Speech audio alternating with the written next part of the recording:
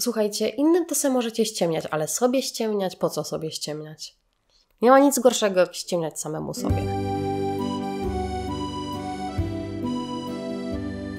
Cześć kochani, witam Was serdecznie w moim swetrze. Kto nie oglądał Mierzymy? Oj, biada temu, kto nie oglądał. Bo ja później na Instagramie się pojawiam w swetrze w paski i są pytania o skąd sweter, a to jest najważniejszy sweter yy, odcinka, w którym mierzę ubrania.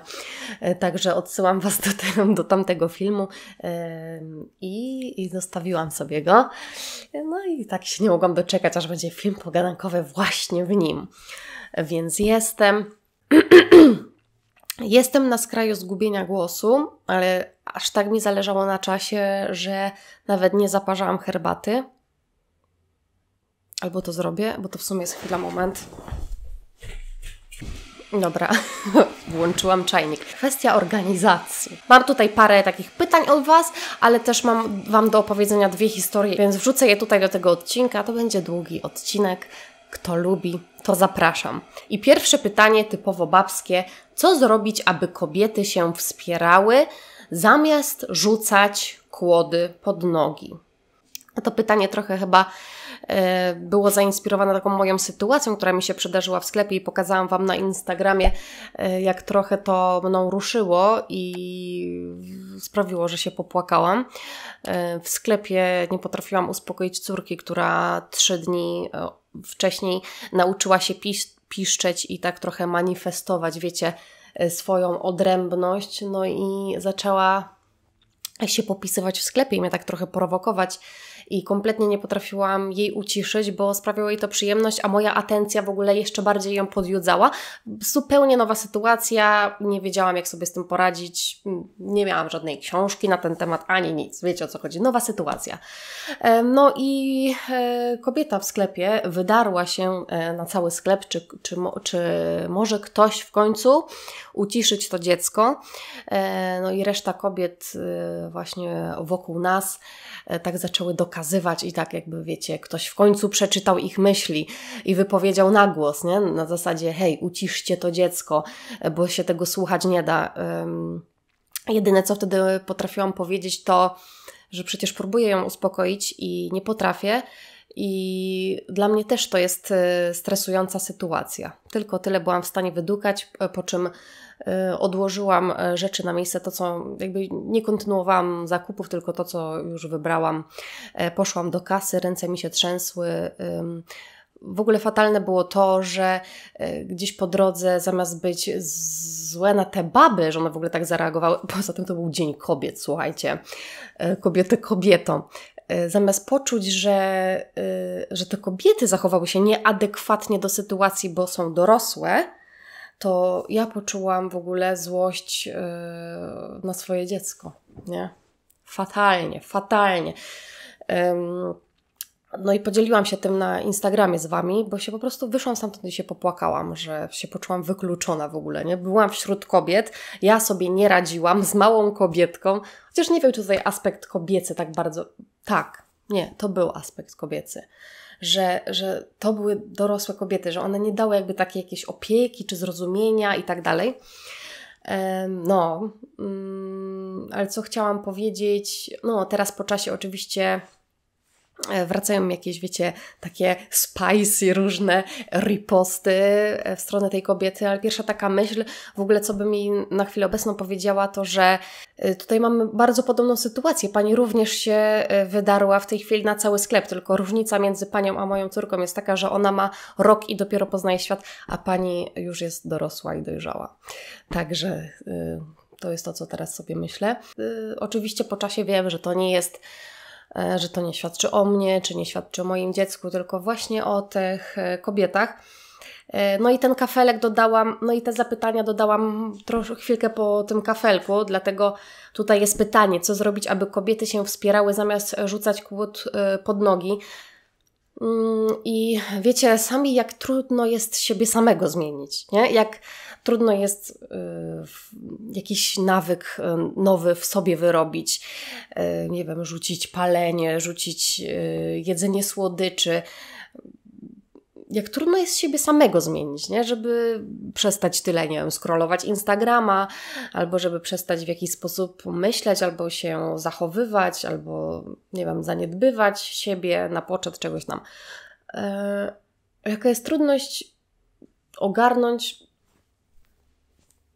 osobę, z którą się jest całe życie i się ją zna na wylot, nie? No bo tak naprawdę chyba my mamy na, na siebie największy wpływ. Że tak sobie szczerze ze sobą pogadać, nie? Hej, słuchaj Ola, ogarnij się. No i czasami jest trudno. Oj, czasami, albo zazwyczaj, nie? A tutaj przychodzi jeszcze zmiana drugiego człowieka. To jest w ogóle wyzwanie.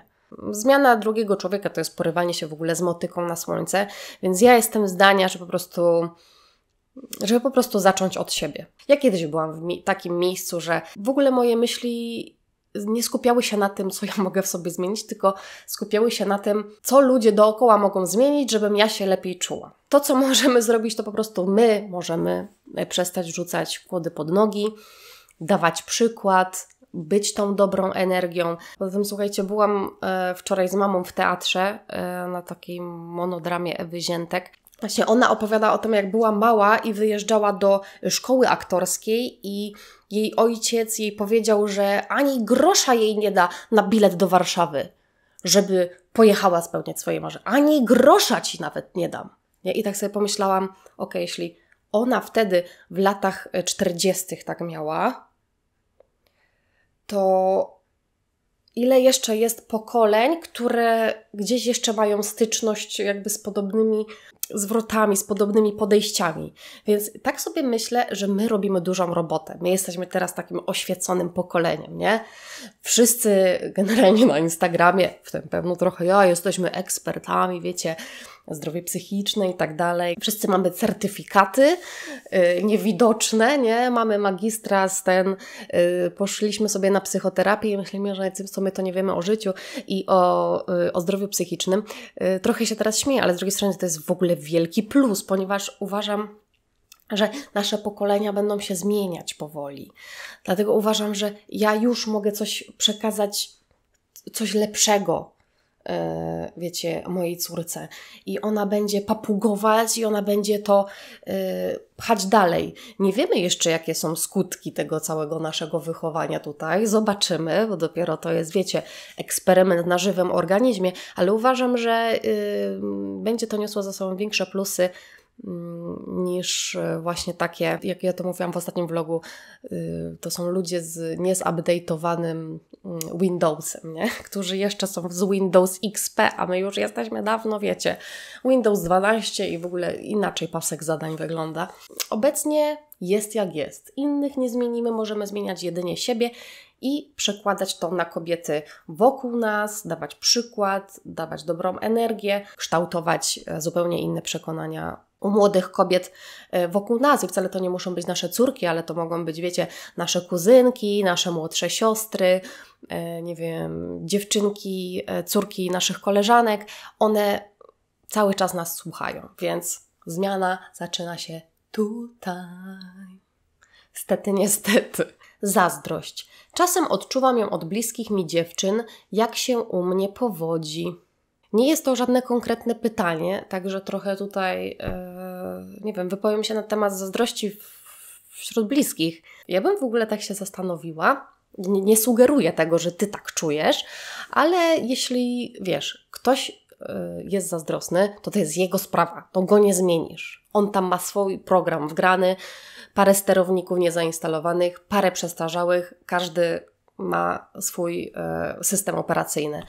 Więc drugiej osoby nie zmienisz. Możesz z nią porozmawiać, ale ja bym się zastanowiła generalnie, jak ja się z tym czuję, że ktoś jest zazdrosny.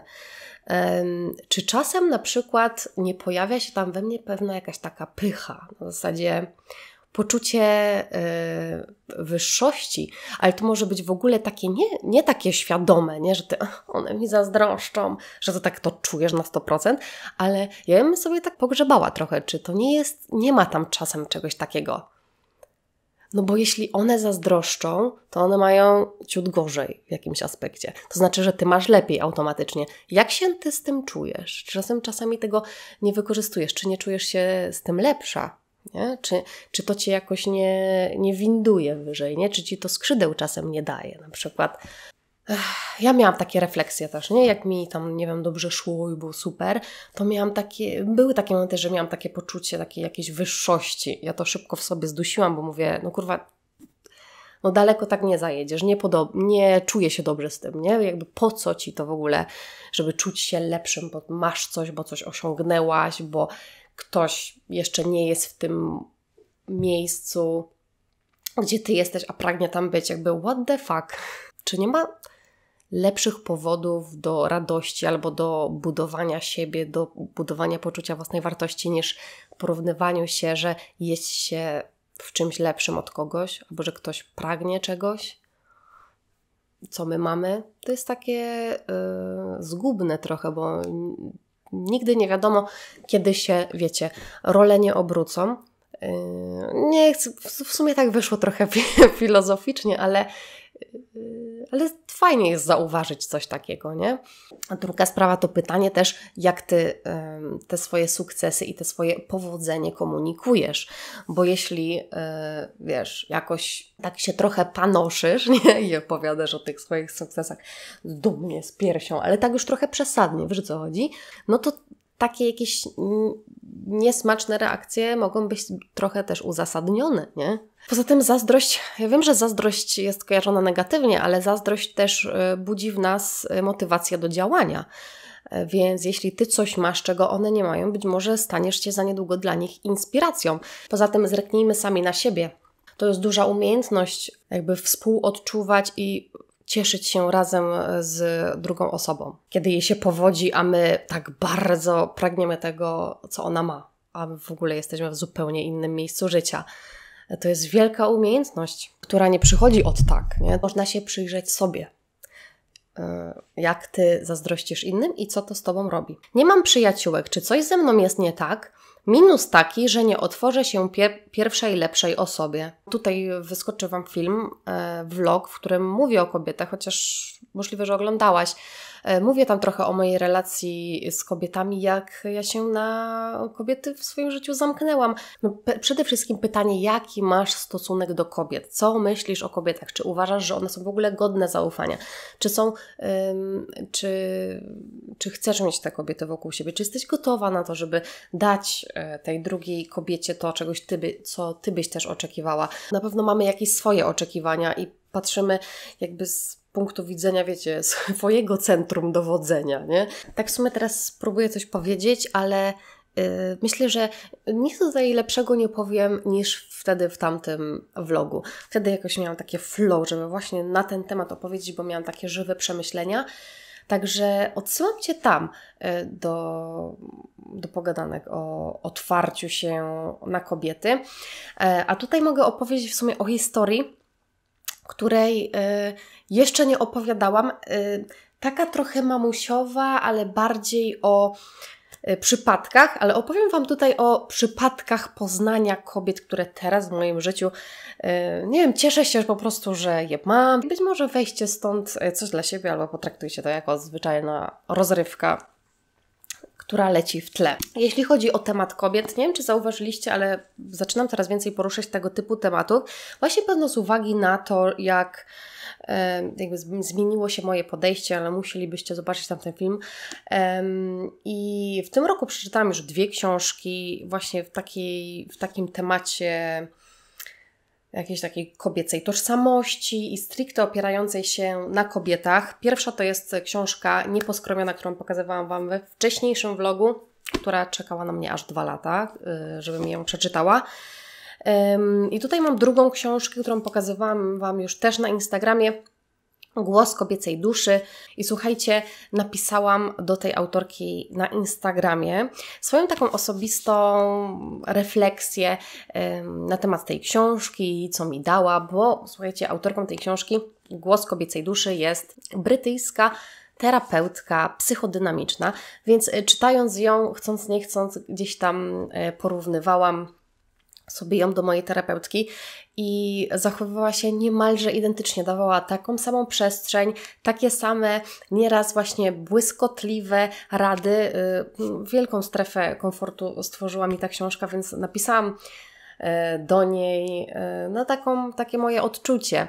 I słuchajcie, to jest niesamowite, że w XXI wieku e, możemy napisać na Instagramie do autorki książki, która odpisuje mi niemalże po pięciu minutach, że you made my day. Tam napisała coś więcej na temat tego, co jej tam napisałam to już tak pozostawię dla siebie. Yy, i, ale samo You Made My Day. Niesamowite, że miałam okazję dać jej mój feedback i że on trafił tak po prostu bezpośrednio. Fantastyczna książka. Myślę, że w niej znajdziecie wszystkie odpowiedzi, jakie kiedykolwiek padły mm, u mnie, gdy robiłam QA o psychoterapii.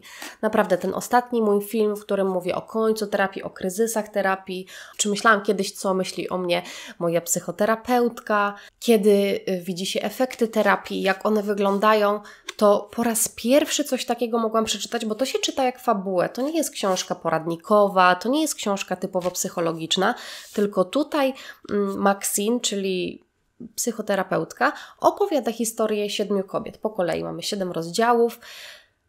I ona przeplata to tak, jakby z trochę takimi opowieściami, i później jest, jest taki powrót do, powrót do gabinetu i tej takie błyskotliwe w ogóle tak, te ruchy takie przemyślane, ona nam opowiada o tym wszystkim. To jest niesamowite, bo ona tak moją ciekawość zaspokaja.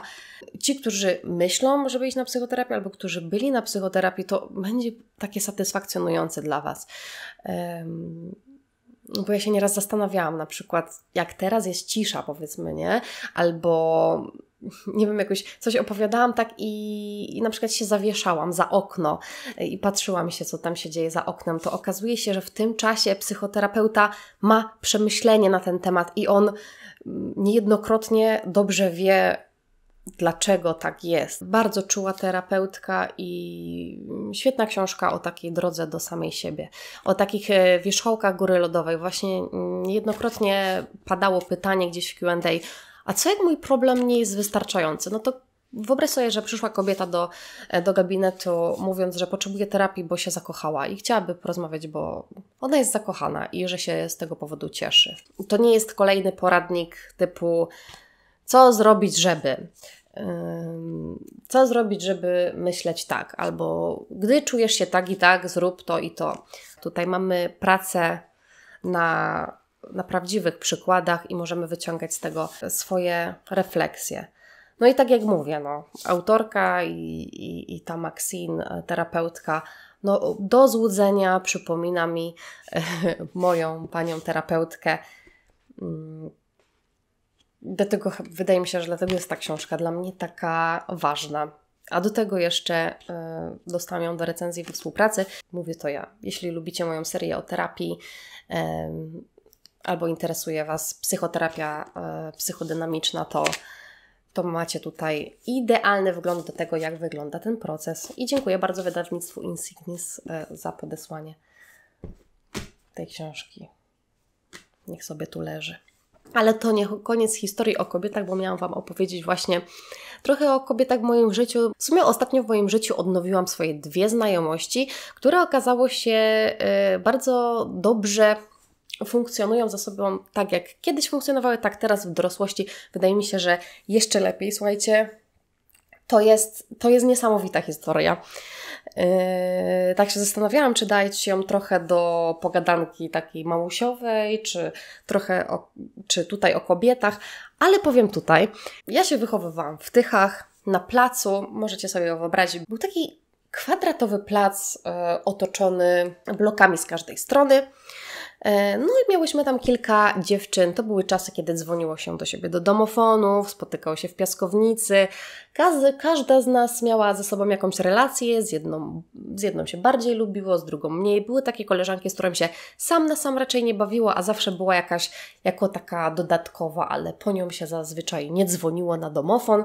No ale właśnie z tej e, naszej grupie dziewczyn z tego kwadratowego placu e, była taka koleżanka, która mieszkała dwie klatki dalej, była o rok e, ode mnie starsza i my jakoś tak, teraz mogę z biegiem czasu powiedzieć, że myśmy się przyjaźniły, mimo tego, że miałyśmy wtedy 6, 7, 8, 9 lat, to był mniej więcej ten czas.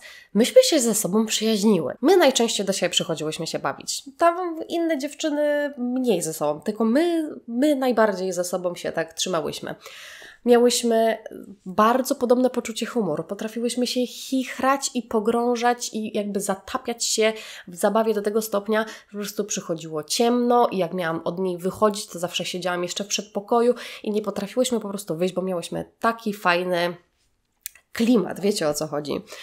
I w sumie Kamila, bo tak jej na imię tutaj nie zmieniam, y, nie zmieniam y, imienia, Kamila, słuchajcie, też lubiła psychologię i to ona już w podstawówce pokazała mi, um, kobiety są z Marsa, a fa faceci są z Marsa, a kobiety z Wenus. Wiecie, ona była dla mnie, ona była o rok starsza, więc ona była trochę dla mnie taką role model, ale nie tak bardzo, ale trochę tak. Więc ona, wiecie, lubiła takie tematy psychologiczne, ona zawsze była taka poważniejsza.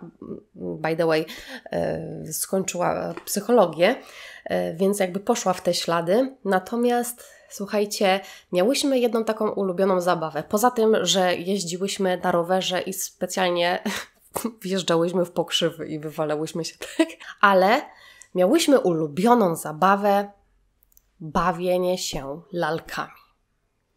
Nikt inny nigdy nie był z nami z wózkami. Nasza zabawa polegała na tym, że e, no, miałyśmy lalki, miałyśmy w ogóle masę ciuszków. Chodziłyśmy wtedy do Ciucholandu. Znaczy, moja mama mi tak pokazała, że chodziłyśmy do Ciucholandu i kupowałyśmy masę ciuszków dla moich lalek. I my byłyśmy takimi starymi klaczami. Zawsze miałyśmy zabawy w dom i zawsze byłyśmy tymi laskami, które szły z wózkami i na starcie już wchodziłyśmy w rolę. Nie, że hej, to jest moja lalka, czy coś w tym stylu, tylko wychodziłyśmy i a cześć, słuchaj, nie, bo ten mój, znowu, słuchaj, z tym obiadem. Masakra, no, ale tak mnie dzisiaj płakała, tak mnie dzisiaj płakała, ale jakoś dałyśmy radę. Wychodzimy na ten spacer i byłyśmy cały czas w roli tych matek. Ja nie wiem skąd my to wzięłyśmy, ale Kamila to była moja koleżanka od zabawy lalkami. Później przyszedł taki czas, że już był taki etap, że wstydziłam się chodzić do niej z tą lalką. Mieszkała dwie klatki dalej i ja kurwa moją lalkę pakowałam do torby podróżnej. Rozumiecie? Te ubranka, lalkę, zawijałam na suwak i po prostu biegłam dwie klatki dalej i tam jeszcze mogłam z nią dalej prowadzić tą zabawę lalkami. Ale to już było takie, wiecie, to już był ten etap wyrastania powoli ale swego czasu naprawdę nabijałyśmy mega dużo kilometrów, potrafiłyśmy 2-3 godziny z tymi lalkami jeździć. Później Kamila już w ogóle poszła do innego gimnazjum, a liceum to już w ogóle to, to już w ogóle. Ja tylko wiedziałam, mimo tego, że ona mieszkała dwie klatki dalej, to ja wiedziałam, że ona studiuje psychologię. E, ja sobie studiowałam swoją filologię i w sumie nie miałyśmy kontaktu. Był jeszcze jakiś taki epizod, że spotkałam się z nią właśnie chyba przez gadu-gadu. Ona do mnie wpadła, już jako byłyśmy takie młode, dorosłe, w okresie liceum. Ona akurat tam była po zerwaniu z chłopakiem. Trochę gadałyśmy, ale jakoś tak się nie kleiło. Jakby to nie był. Nie, jakoś tak nie, nie poczułyśmy tego, więc więcej się nie spotkałyśmy. Jestem w siódmym, ósmym miesiącu ciąży. Przeprowadziłam się tutaj już do Tychów. No i dostaję wiadomość na Facebooku: hej, e, czy to właśnie ciebie teraz mijałam na pasach? No i się okazało, że miałyśmy w ogóle termin. W, mm, ona miała termin miesiąc później niż ja. Ja miałam w październiku, ona miała w listopadzie. Chwilkę tam pogadałyśmy i tak dalej e, na ten temat na Facebooku, no i znowu jakby ucichło. No i słuchajcie, ja wybrałam w ogóle szpital poza Tychami, wybrałam szpital w Katowicach. Gdy już byłam w tym szpitalu, były mi robione badania. Ja nie wiem, czy to jest generalnie taka procedura, ale trzeba było zakładać te maseczki i tak dalej, i tak dalej, i więc się robiło testy na COVID. Jeszcze jakby sytuacja była spokojna, że tak powiem. Miały przyjść te wyniki i Patrzę, przychodzi do mnie mama Kamili. Tak mówię, o co chodzi? Ona mówi, słuchaj, no jestem w tym laboratorium i tak patrzę, Aleksandra, twoje nazwisko, patrzę, moja ulica praktycznie.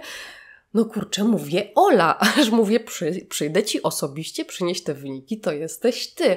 Ja mówię, no tak, co tu się w ogóle dzieje? Ona mówi, no słuchaj, no jestem zdziwiona. I tak mi się wraca taki flashback, że wtedy, gdy z Kamilą y, udawałyśmy, że palimy papierosy, bo zwijałyśmy kartki w taki rulon i podpie, pod, y, podpalałyśmy to y, zapalniczkami. I wtedy Kamili mama dzwoniła na, na telefon stacjonarny, ona miała taki stacjonarny powieszony na tym, na ścianie.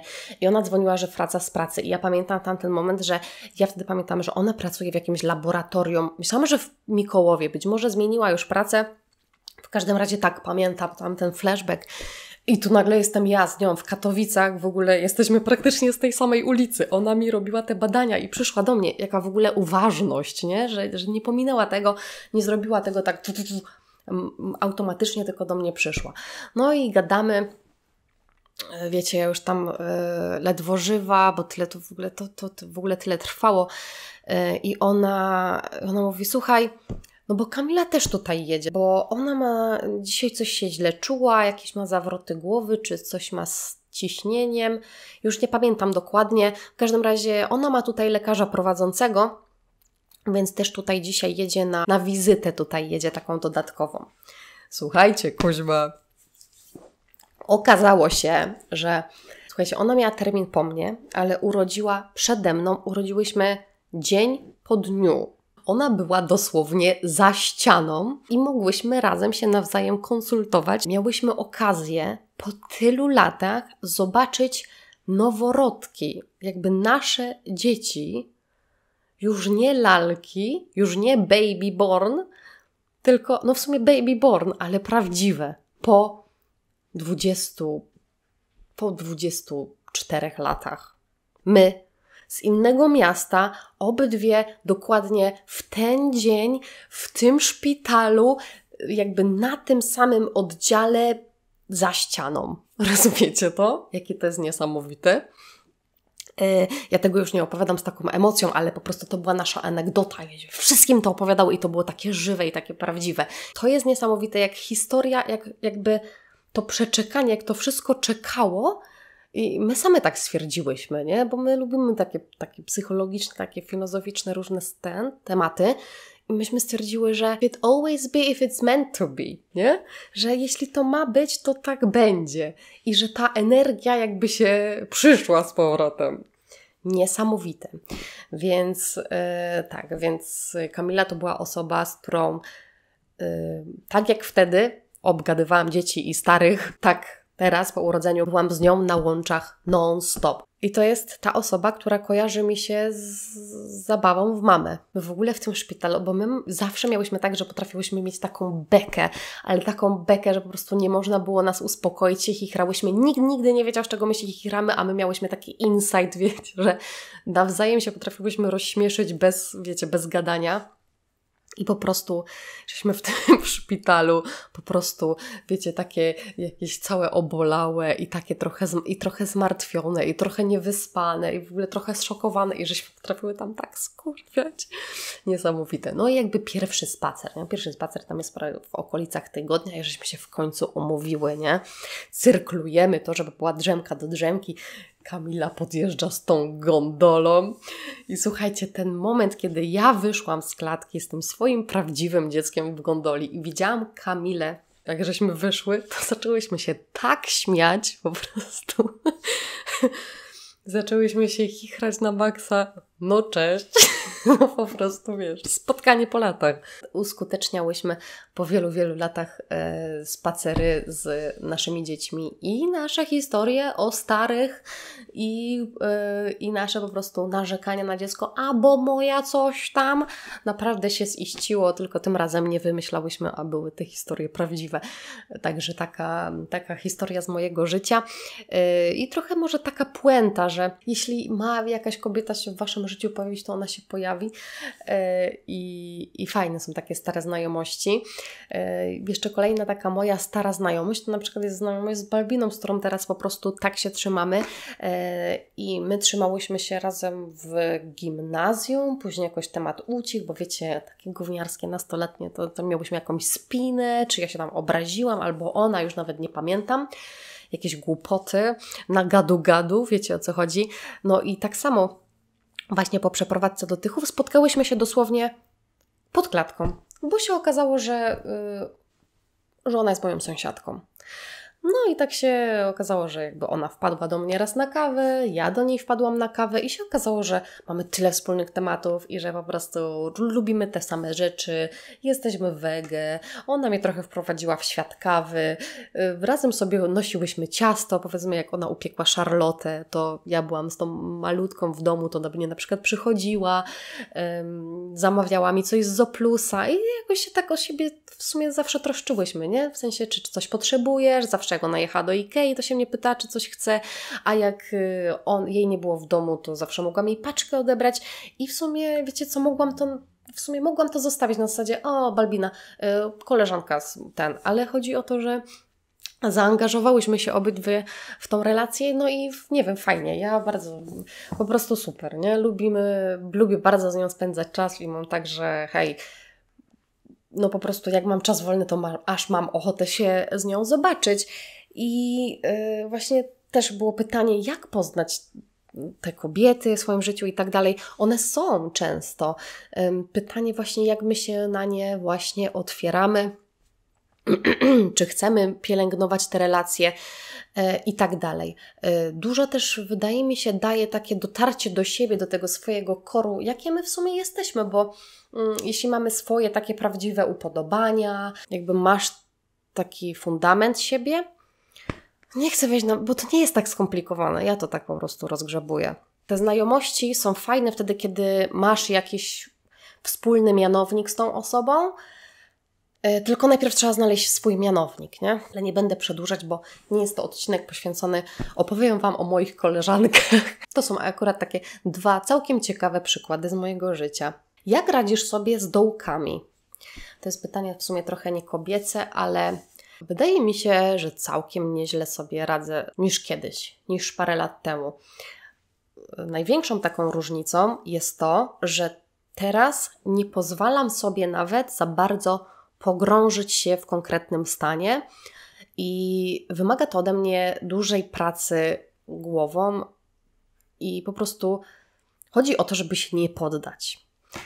E, na przykład dzisiaj ten film mm, przerywałam już pięć razy. E, moja córka się budziła kilkukrotnie, bo jest chora. I kiedyś bym się poddała i bym, jakby miałabym taką narrację w głowie, koniec, nie wyjdzie mi to, zaplanowałam sobie to na dzisiaj, ale wszystko mi przeszkadza i bym się bardzo skupiła na tym, co mi jakby na przeszkodach. I na przykład to, jaką pracę teraz wykonuję, to na zasadzie spokojnie. Jakby ona się budzi i jakby szukam rozwiązań i próbuję sama być dla siebie taką, takim dobrym głosem. O, dobrym, wspierającym głosem. Na zasadzie hej, no ale jakby ona się obudzi, jak się obudzi, to trudno, ale jest jeszcze szansa, że zaśnie i na spokojnie. Czasami mi się wydaje, że nawet sama jakby sobie manifestowałam to, co się wydarza, bo chciałam powiedzieć, dobra, jak ona mi się obudzi, to już znak, że mam dzisiaj nie nagrywać. Jakby sama sobie to dopowiadałam, wiecie o co chodzi. To, że ona nie zaśnie, to nie znaczy, że to jest ten znak, tylko to znaczy po prostu jest chora, więc nie zasnęła, ale dalej możesz to zrobić. Szukam rozwiązań nie traktuję wszystkiego zero-jedynkowo. Kiedyś miałam taką tendencję, że wiadomo, że czasami to nie wychodzi, czasami się troszkę pogrążam, ale jestem w stanie z tego wyjść.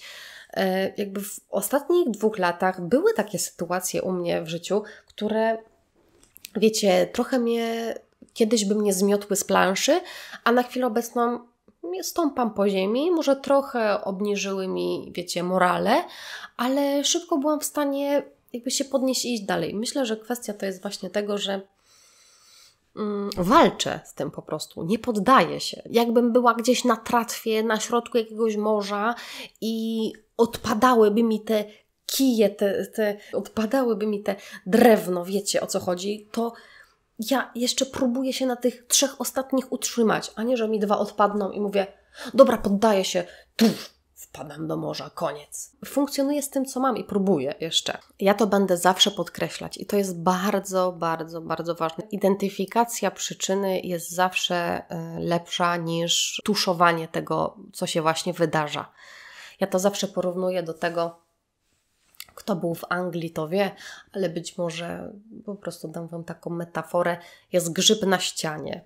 No i można go albo położyć na niego tapetę i przez jakiś czas cieszyć się ładnym wyglądem ściany, albo można też się zastanowić, jakby co powoduje tego grzyba i go usunąć. Takie poddanie się dołkom regularnym to jest trochę takie tapetowanie, według mnie. Więc ja lubię grzebać, lubię się dowiadywać i lubię posłuchać siebie. Po prostu przeprowadzam trochę ze sobą taki wywiad, jak taka dobra jakaś dusza i naprawdę jestem do siebie bardzo łaskawa w porównaniu do wcześniejszych lat. I tak mówię, Ola, co jest?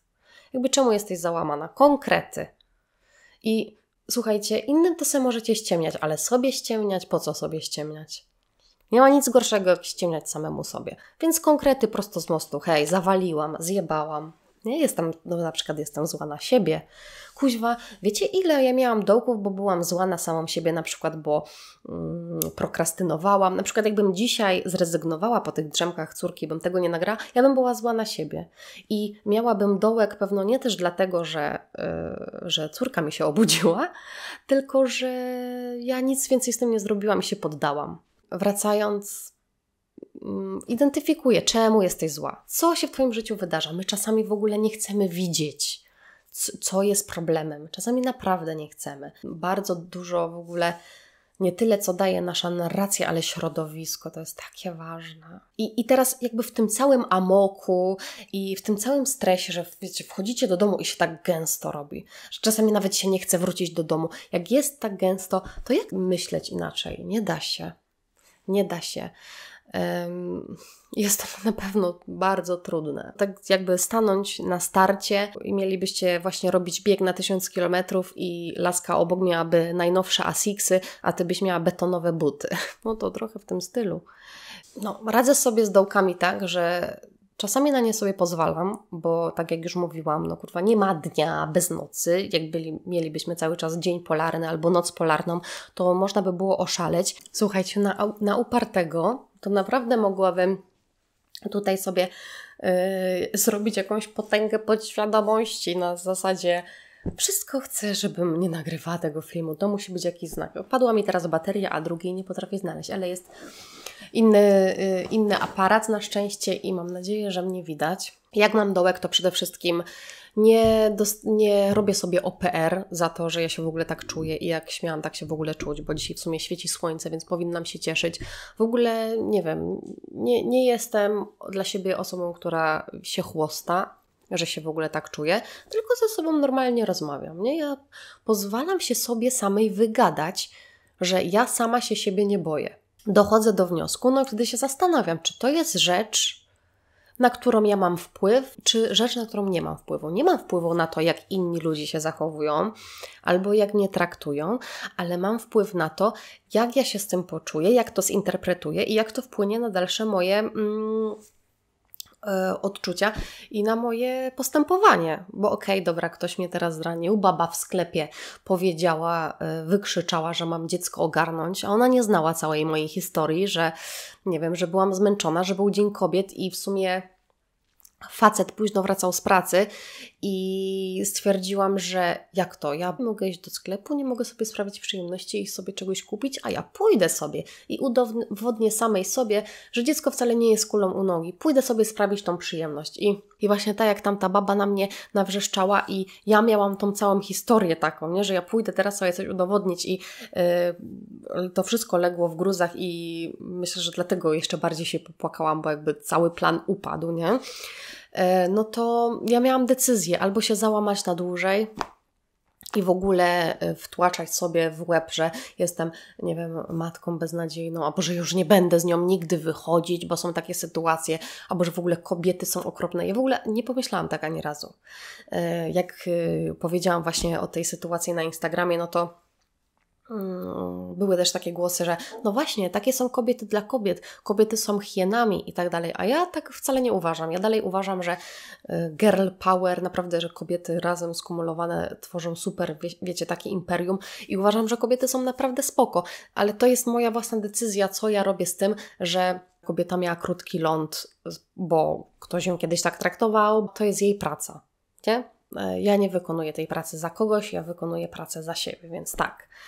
Pozwalam sobie na te emocje w związku z tym, co się wydarzyło, jak się z tym czuję e, i, i staram się i jakby biorę odpowiedzialność za to, jakby hej,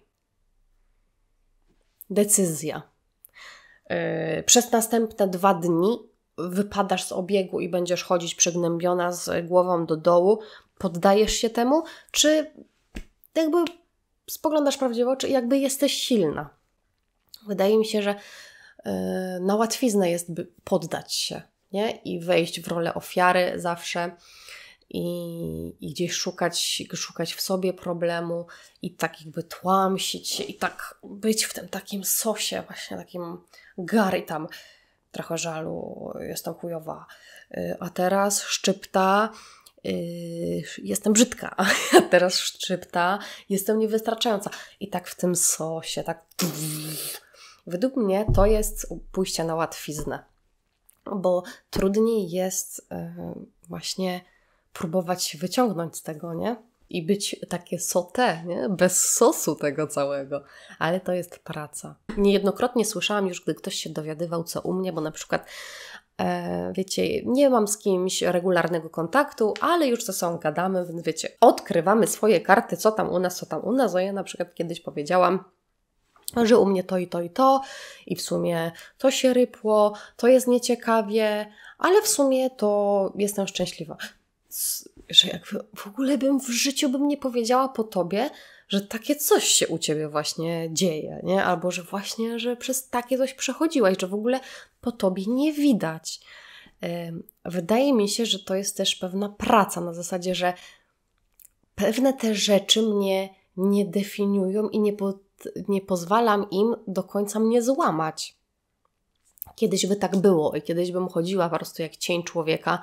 Chociaż nie jest powiedziane, że nigdy więcej mnie już nic nie złamie. Nie jest powiedziane, nie? Nie wiadomo, co życie mi przyniesie. Chociaż czasami aż się tak chce, nie? Tak... Pieprze, to już... W sumie wszystko jest trudne. Wtedy sobie myślę, że kiedy będzie, będę czuła się gorzej? No, autopsja mi pokazuje, że najgorzej w swoim życiu się czułam wtedy, kiedy najbardziej w siebie wątpiłam, wtedy, kiedy najbardziej siebie sama zawodziłam. Czyli jak coś słuchałam, jak coś mi, jakby coś mi podpowiadała intuicja, a ja siebie nie słuchałam, to w efekcie później u, czułam się jak gówno. Na dłuższą metę staram się, żeby świat zewnętrzny nie trząsł mną e, w posadach. Niejednokrotnie w sumie, jak oglądam jakieś dokumenty o jakichś katastrofach, ostatnio było o tym, ostatnio oglądam o wybuchu wulkanu. Właśnie chłopak pewien opowiadał, jak musiał przejść ileś tam, nie wiem, kilometr, dwa, nie pamiętam już jaka to była trasa, ale cały poparzony, gdzie cała jego skóra się po prostu topiła od tej lawy, że on po prostu robił krok i upadał cała jego rodzina po prostu została w tyle i jakby na powolną śmierć, a on miał taką wolę walki, że on szedł w stronę morza, żeby siebie uratować. On po prostu on, on, nawet nie miał siły ruszać tymi nogami, że coś po prostu ruszało, jakiś instynkt, jakaś jakaś wola. I wydaje mi się, że dużo robi taka nasza wola. Albo wykonuję tą pracę i szukam rozwiązań i idę w to, co może mi pomóc, albo się po prostu poddaję i czekam, aż, aż samo przejdzie, a niekoniecznie samo y, to przechodzi. Wątpisz czasem w to, co robisz i dokąd zmierzasz. I na szybko odpowiem, bo wysiada mi głos i muszę iść zacząć robić obiad. Wątpisz też czasem w to, co robisz i dokąd zmierzasz? Tak, wątpię. Bardzo często poddaję może nie tyle co wątpliwości, co weryfikuję to, na jakim etapie jestem, czy wszystko się jeszcze sprawdza, czy coś nie jest już przedawnione, czy wszystko jest na pewno up to date, czy wszystko, co się teraz w ogóle w moim życiu dzieje, czy wszystko mi służy, czy wszystkie relacje są na miejscu. To takie trochę filozoficzne, ale tak czasami tak mam, że sobie myślę, po co jakby to wszystko? Dlaczego w ogóle wszyscy pracujemy. Się zastanawiam, że na przykład jest ktoś, kto się budzi i na przykład totalnie nienawidzi swojej pracy, ale musi do, niej do tej pracy iść, bo ma leasing, ma ogromny kredyt i po prostu przez najbliższe 30 lat musi po prostu się zmuszać i musi robić coś, żeby za to wszystko oddać, przez co mało się widzi z dziećmi i tak dalej. I czasami tak, w ogóle czasami tak się zastanawiam, jakby what the fuck. Już czasami nawet lepiej by było, gdybyśmy może byli w tej dżungli, ale jakby bylibyśmy razem w tym stadzie, facet by łazi, łaził z tą z tą maczetą yy, przynosił, ale byśmy wszyscy razem siedzieli, a kobiety gotowałyby ryż w tym garze, ubieralibyśmy się w skórę węży, w skórę tych, tych, tych zwierzaków. Pędzimy za rzeczami, nie zastanawiając się czasami po co za nimi pędzimy, bo to jest takie oczywiste, że jakby za czymś pędzimy. Czy tego wszystkiego potrzebujemy, czy to wszystko, co mamy, co nam znowu oferują, ile jest tych fajnych rzeczy, bu tutaj bujaczek dla dziecka, tu jakaś układanka, jakieś tutaj, czy to wszystko, czy my tego wszystkiego potrzebujemy, czy ten mój sweterek w paski, mam tak czasami, że tak nawet nie tyle, że wątpię, ale się zastanawiam, nie?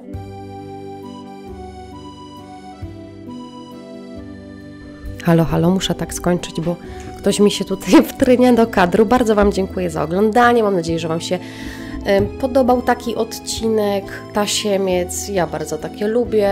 Nie muszę się jakoś bardzo pilnować z czasem, skracać. Mi w ogóle, tak jak mówię, mi brakuje takich odcinków na YouTubie.